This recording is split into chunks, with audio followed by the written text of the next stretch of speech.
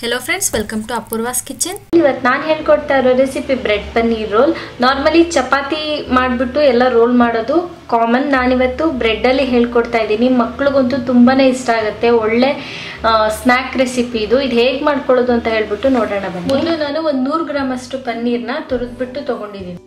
ಅದಕ್ಕೆ ಸಣ್ಣದಾದರೆ ಒಂದು ಕ್ಯಾಪ್ಸಿಕಮ್ ತಗೊಳ್ಳಿ. ಸಣ್ಣದ ಕಟ್ ಮಾಡಿಕೊಂಡು, ದೊಡ್ಡದಿದ್ರೆ ಅರ್ಧ ತಗೊಳ್ಳಿ.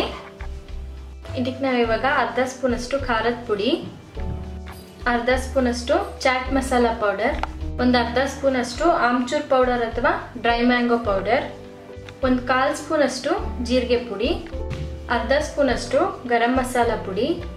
ರುಚಿಗೆ ನೋಡಿಬಿಟ್ಟು ಉಪ್ಪು ತೊಗೊಂಡಿದ್ದೀನಿ.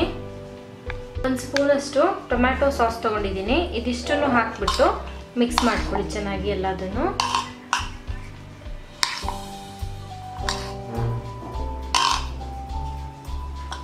ಎಲ್ಲ ಚೆನ್ನಾಗಿ ಮಿಕ್ಸ್ ಆದಮೇಲೆ ಲಾಸ್ಟಲ್ಲಿ ಒಂದು ಸತಿ ಕೊತ್ತಂಬರಿ ಸೊಪ್ಪು ಹಾಕ್ಬಿಟ್ಟು ಮಿಕ್ಸ್ ಮಾಡ್ಕೊಳ್ಳಿ ಚೆನ್ನಾಗಿ ಇನ್ನೊಂದು ಇನ್ನೊಂದ್ಸರಿ ಕೈಯಲ್ಲಿ.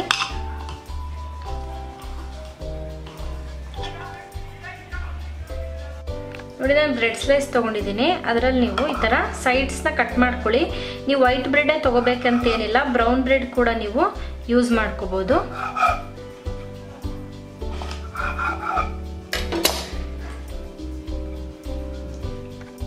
ಒಂದು ತಟ್ಟೆಲಿ ನೀರು ತಗೊಳ್ಳಿ ಬ್ರೆಡ್ಡನ್ನು ಜಸ್ಟ್ ಲೈಟಾಗಿ ಡಿಪ್ ಮಾಡಿ, ಪೂರ ಡಿಪ್ ಮಾಡಕ್ಕೆ ಹೋಗಬೇಡಿ. ಆಮೇಲೆ ನೀಟಾಗಿ ಇದರಲ್ಲಿರೋ ನೀರನ್ನೆಲ್ಲ ಈ ಥರ ಪ್ರೆಸ್ ಮಾಡಿ ಪ್ರೆಸ್ ಮಾಡಿ ತೆಕ್ಕೋತಾ ಹೋಗಿ.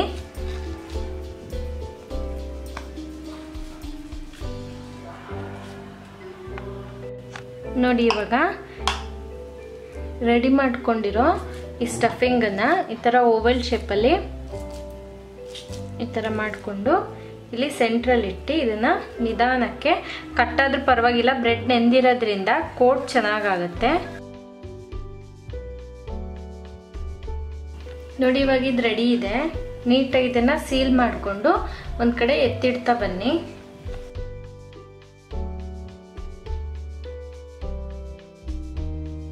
ನೋಡಿ, ನಾನು ಮಾಡುವಾಗಲೂ ಬ್ರೆಡ್ ಕಟ್ಟಾಗಿದೆ ಬಟ್ ಕೋಟಿಂಗು ಚೆನ್ನಾಗಾಗಿದೆ. ಬ್ರೆಡ್ ನೆಂದಿರೋದ್ರಿಂದ ನೀವು ಯಾವ ಥರ ಮಾಡಿದ್ರೂ ಕೋಟಿಂಗ್ ಚೆನ್ನಾಗಿ ಬರುತ್ತೆ. ಇದನ್ನ ಇವಾಗ ಸೈಡಲ್ಲಿ ಎತ್ತಿಟ್ಕೊಳ್ಳಿ.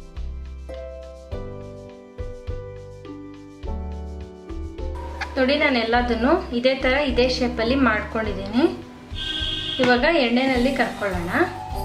ನೋಡಿ, ಎಣ್ಣೆ ಒಂದ್ಸತಿ ಕಾದ್ಮೇಲೆ ಗ್ಯಾಸ್ ಫ್ಲೇಮ್ನ ಮೀಡಿಯಮಲ್ಲಿ ಇಟ್ಕೊಂಡು ರೆಡಿ ಮಾಡ್ಕೊಂಡಿರೋ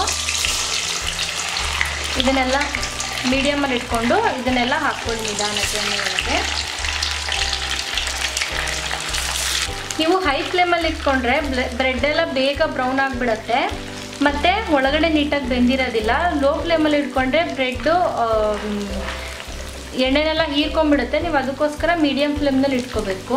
ಒಂದು ಎರಡು ನಿಮಿಷ ಆದಮೇಲೆ ನಿಧಾನಕ್ಕೆ ಈ ಕಡೆ ತಿರುಗಿಸ್ಕೊಳ್ಳಿ. ಒಂದು ಕಡೆ ಕಲರ್ ಬಂದಿದೆ ಅಂದಾಗ. ನೋಡಿ, ಇವಾಗ ಇದು ರೆಡಿ ಇದೆ. ಇಷ್ಟು ಕಲರ್ ಬಂದರೆ ಸಾಕು. ಇದನ್ನ ಎತ್ಬಿಟ್ಟು ಒಂದು ಪ್ಲೇಟಲ್ಲಿ ಇಟ್ಕೊಳ್ಳಿ. ಸೊ ನೋಡಿ, ಎಷ್ಟು ಕ್ರಿಸ್ಪಿಯಾಗಿದೆ ಮತ್ತು ಸಖತ್ ಟೇಸ್ಟಿಯಾಗಿರುತ್ತೆ ಇದು. ಸೊ ಈ ರೆಸಿಪಿನ ಮನೇಲಿ ಟ್ರೈ ಮಾಡಿ ಮಕ್ಕಳಿಗೆಲ್ಲ ತುಂಬ ಇಷ್ಟ ಆಗುತ್ತೆ. ಇವತ್ತು ನಾನು ಮಾಡಿದ ರೆಸಿಪಿ ನಿಮಗೆಲ್ಲ ಇಷ್ಟ ಆಗಿದೆ ಅಂತ ಅಂದ್ಕೊಂಡಿದ್ದೀನಿ ಇಷ್ಟ ಆಗಿದ್ರೆ ನನ್ನ ಚಾನಲ್ಗೆ ಸಬ್ಸ್ಕ್ರೈಬ್ ಆಗಿ ಹಾಗೆ ಲೈಕ್ ಮತ್ತು ಕಮೆಂಟ್ ಮಾಡೋದನ್ನು ಮರಿಬೇಡಿ. Thank you for watching this video